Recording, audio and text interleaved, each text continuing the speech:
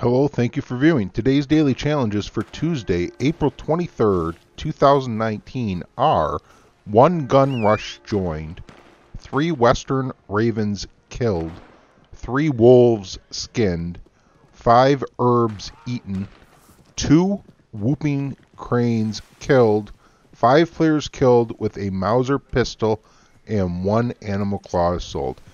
If you need help finding wolves, whooping cranes, or animal claws, check the description for links.